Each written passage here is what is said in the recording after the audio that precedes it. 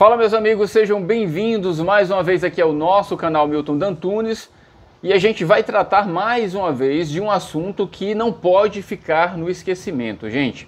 Eu sei que a gente vem tratando de pautas é, muito imediatas, que é o 14º salário e também a margem social, mas a gente não pode fechar os olhos para um assunto de extrema importância e que vai comprometer a tua vida, você pessoa idosa, e que na maioria são os aposentados e os pensionistas, é, de maneira uh, indeterminada, tá? Então eu, eu quero falar com você sobre o projeto 5383, que meses atrás, ou mais ou menos um mês atrás, eu trouxe esse assunto aqui através de um vídeo do deputado Ricardo Silva, que trouxe grandes detalhes sobre a importância desse projeto. Então, como o meu trabalho principal é comunicar, é informar, eu quero trazer à tona mais uma vez esse assunto e eu faço questão de ler a ah, parte do texto desse projeto de lei que é de 2019 e pasmem, esse assunto veio à tona, tá? esse, esse projeto de lei é de autoria de um deputado que é idoso, mas que se acha fora, literalmente, uh, do meio, né? ou seja, vive, como eu sempre tenho dito, dentro daquela bolha de pessoas inatingíveis pelos projetos que eles mesmos colocam em prática. Ou seja, você é quem vai ser prejudicado se esse projeto passar batido, como tantos outros, por baixo do pano, e você só se der conta de que ele existe quando você for a pessoa prejudicada. Então, meu papel aqui é fazer com que isso não aconteça. Então, eu quero ler para vocês uma parte desse projeto. E, pessoal, eu quero mais pedir demais a você que está me vendo nesse momento que você possa, enfim, se comprometer com esse canal que tem trazido tantas verdades para você, muitas das vezes de uma maneira que você não gosta de ouvir. Mas é melhor que eu traga uma, uma amarga verdade dura que não te prejudique amanhã, do que eu fique te a conta gotas trazendo doces mentiras, como tantos canais vêm fazendo aí, tentando te enrolar, te envolver com tantas palavras bonitas, mas não trazendo a você a verdade que você precisa ouvir. E no final das contas, você vai se dar conta realmente de que você foi enganado e de que você foi prejudicado. No dia que eu não puder falar a verdade para você, no dia que eu não puder trazer assuntos como esse, rasgados aqui, olhando no teu olho, eu sinceramente paro de trabalhar em benefício de você que é meu público-alvo, aposentado, pensionista, servidor público, pessoa idosa e deficiente. O meu trabalho aqui é fazer com que covardias como essas parem de acontecer, ou pelo menos eu vou expor. Se vai mudar ou não, não depende de mim, depende de você me ajudar a lutarmos contra atrocidades como essa. Olha só, pessoal, do que é que trata o projeto 5383? Eu, inclusive, vou deixar um card aqui em cima para que você que está chegando no canal agora fique mais inteirado do assunto, tá? Esse vídeo que eu estou colocando aqui foi o vídeo que eu comentei agora há pouco do Ricardo Silva. É um vídeo que está bombando com mais de 170 mil visualizações. Então o assunto é sério, pessoal. Querem realmente acabar, aniquilar com direitos que vocês já conquistaram que vocês já decidiram, já é, ao longo da vida, com muito esforço, né, com muito sacrifício, conquistaram, tá? Já foi definido como direito. E agora vem um deputado desse, que faz parte do grupo de pessoas idosas e sem ter o que fazer, porque sinceramente isso aqui é coisa de quem não tem o que fazer, e coloca em prática um projeto nefasto, danoso como esse, que vai infelizmente acabar com os teus direitos e eu não vou permitir que isso aconteça, pelo menos a minha parte eu vou fazer. Projeto de Lei 5383, tá? É um projeto que altera o Estatuto do Idoso. E aí o meu amigo Ricardo Silva, que faz parte uh, da Comissão de Idosos, eu sei que ele está lutando contra isso e eu vou me unir a ele para que a gente possa falar muito mais sobre esse assunto, tá? Uh, esse projeto ele altera o Estatuto do Idoso e a lei que trata da prioridade no atendimento. Se altera uma lei como essa, pessoal, vai se alterar tudo. Tudo que é direito que você, pessoa idosa, tem. Preste atenção no que eu vou ler para você. O projeto de lei 5383 de 2019, ele altera a legislação vigente para que as pessoas sejam consideradas idosas a partir dos 65 anos de idade e não dos 60 como é hoje, pessoal. Em análise na Câmara dos Deputados, o texto altera o Estatuto do Idoso e a Lei 10.048 do ano de 2000, que trata da prioridade de atendimento. O que é que isso significa na prática? Não existe mais justificativa para dizer que uma pessoa com 60 anos de idade é idosa. As palavras do, do deputado João Campos, que é do Partido Republicanos, base do governo lá do estado do Goiás. Então, se você é do estado do Goiás, se você votou no, no deputado João Campos, eu vou colocar a foto dele aqui para você acompanhar.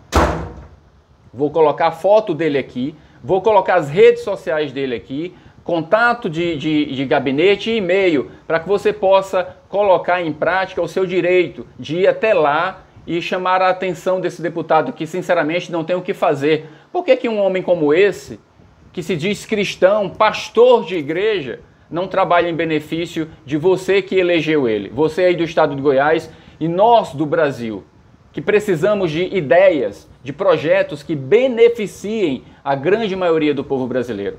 Porque de onde é que uma criatura como essa tira uma ideia esdrúxula, mal pensada, mal é, elaborada e equivocada para dizer que você, que é a grande maioria do povo brasileiro idoso, que é pobre, não pode mais ser considerado idoso a partir dos 60 anos e tira de você vários direitos. Eu vou citar somente um.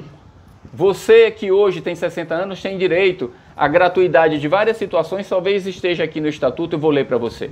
Você tem direito a ser prioridade em várias situações e você vai perder tudo isso se esse projeto for aprovado. Mas olha só o que diz na sequência aqui.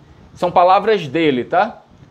A cada dia que se passa, vemos mais pessoas atingindo essa idade com qualidade de vida em plena atividade laboral, intelectual e até mesmo física, afirma o deputado. Eu até concordo que tem muita gente com 60 anos que tem vivido com mais qualidade de vida, mas a gente não pode pegar a exceção e transformar em regra. A gente não pode pegar uma meia dúzia de pessoas que se enquadram nesse texto que ele colocou aqui e dizer que todo brasileiro com 60 anos vive bem, tá? Intelectualmente falando, fisicamente falando, podendo trabalhar, isso é uma mentira. Essa palavra dele é uma mentira, é uma falácia, tá? Ele afirma que essa proposta precisa ser aprovada, porque você com 60 anos não é mais idoso. Você só é velho ou idoso ou precisa né, dos direitos que você hoje já tem conquistados a partir dos 65 anos. Isso é coisa de quem não tem o que fazer. E eu falo isso aqui sem medo de errar, tá? Ele destaca que a expectativa de vida no Brasil aumentou 7 anos desde 2023. E hoje é de 80 anos para mulheres e de 73 anos para homens, em média segundo dados do Instituto Brasileiro de Geografia e Estatística, é, que é o IBGE. Inclusive, o IBGE é aquele mesmo IBGE que esse ano não está fazendo o seu trabalho porque o governo federal cortou, zerou totalmente a verba para que a gente possa ter, enfim, dados não só sobre esse assunto, mas sobre diversos assuntos que melhoram a qualidade de vida do brasileiro como um todo. O mesmo IBGE que ele está falando é o que este ano de 2021 está sem verba para trabalhar, tá? É, ele acrescenta que a reforma da Previdência, é, recentemente promulgada lá em 2019, né, através de emenda constitucional, que foi a emenda 103, aumentou a idade mínima de aposentadoria para 65 anos para homem e para 62 anos para mulheres. Mudanças. Caso o projeto seja aprovado pela Câmara, o Estatuto do Idoso passará a regular os direitos das pessoas com idade é, igual ou superior a 65 anos. A elas será assegurado, por exemplo, prioridade na tramitação de processos é, e procedimentos e na execução dos atos e diligências judiciais em que figure como parte a pessoa idosa, né? Além disso, apenas as pessoas com idade igual ou superior a 65 anos e não mais 60 anos será assegurado o tratamento prioritário no transporte coletivo, em bancos, repartições públicas e empresas concessionárias do serviço público. A proposta será analisada em caráter conclusivo pelas comissões de defesa e direito da pessoa idosa e de Constituição, Justiça e Cidadania. Esse projeto ele é tão leviano que a tramitação dele passa apenas pela Comissão de Constituição e Justiça, ou seja, ele está a toque de caixa. Então eu quero chamar a tua atenção, pessoa idosa, ou você que é familiar de alguém que hoje tem 60 anos já completos e que já garantiram esses direitos, fiquem atentos, me ajudem a aumentar a visibilidade de um material como esse. Quando eu digo que esse canal é um canal de utilidade pública, eu não estou brincando, pessoal. Porque enquanto você tapa os olhos e os ouvidos para informações importantes como essa, direitos são roubados de vocês na calada da noite, de você ou dos seus parentes. Então me ajudem a reprovar, a espalhar pelo Brasil todo o nosso repúdio sobre o projeto de lei é, 5383, que é de autoria do deputado João Campos lá do Goiás. Isso é uma vergonha.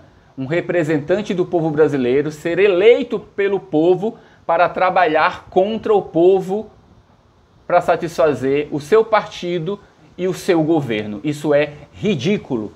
E eu, sinceramente, fico indignado quando eu vejo uma pessoa como essa dizer que é cristã, que é pastor de uma igreja e que essas pessoas acreditam num trabalho, sinceramente, asqueroso como esse que vai totalmente contra aquilo que ele defende, aliás, contra aquilo que ele prometeu fazer quando ele assumiu o cargo de deputado federal. Isso é uma vergonha, seja ele ou qualquer outro deputado federal ou senador ou presidente da República que foi eleito pelo povo, que está deputado federal, ele não é, porque deputado federal não é profissão, ele está nesse momento deputado. Então me ajudem se inscrevendo nesse canal, compartilhando esse material, deixando a tua opinião. Eu vou perguntar para você, você concorda com esse absurdo?